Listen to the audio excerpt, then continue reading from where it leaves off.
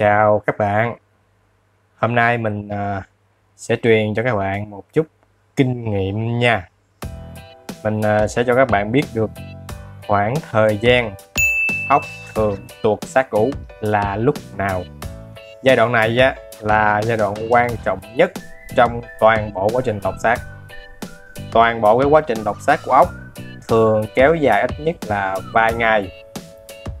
Nhưng mà trong cái quá trình đó có một cái giai đoạn quan trọng nhất là cái giai đoạn tuột xác cũ. Giai đoạn này nó chỉ kéo dài trong vòng vài giờ thôi. Mình nhắc lại là vài giờ đồng hồ thôi nha.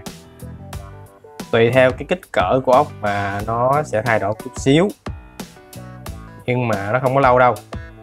Khoảng thời gian ờ, xảy ra cái việc tuột xác cũ của ốc là từ 12 giờ trưa cho đến 21 giờ tối tổng cộng là 9 tiếng. Mình tạm gọi nó là giờ vàng lột xác. Trong cái khoảng thời gian này á, các bạn phải hạn chế tối đa làm những cái việc phát ra tiếng động hoặc là rung động mạnh trong phạm vi 1 mét. Tính từ vách hồ ốc.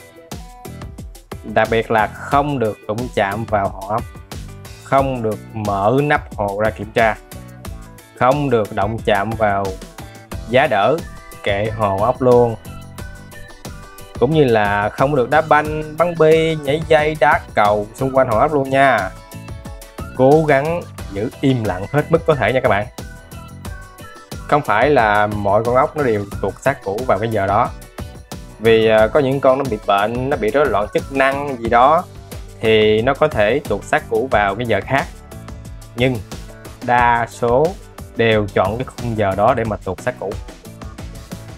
Nếu mà bạn nghi ngờ cái con ốc nào đó nó đang sắp lột xác hoặc là nó sắp chết bạn muốn cầm nó lên để kiểm tra hoặc là dòm lén nó coi là nó đã lột xác hay chưa thì bạn không nên kiểm tra nó vào cái khoảng thời gian này.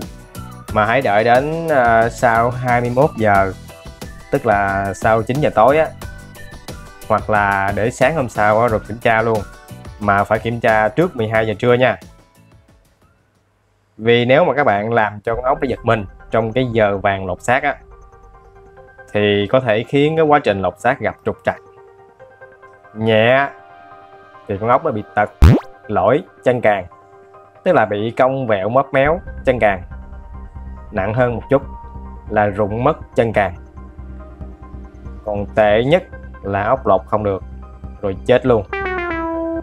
Cái điều mình nói ra nãy giờ người khác không có nói cho các bạn nghe đâu. Chỉ có mình mới tổng hợp lại rồi nói cho các bạn biết thôi đó. Mà mình biết được cái thời gian ờ, tuột xác cũ của ốc á là vì mình đã từng tận mắt chứng kiến ốc lột cạn vài lần rồi.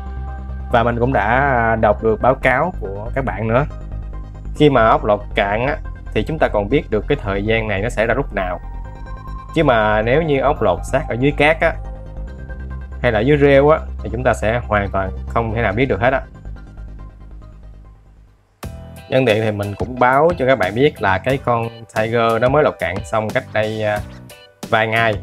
Và nó đang ăn xác cũ mấy hôm nay thì nó vẫn còn nằm ở trong hang á.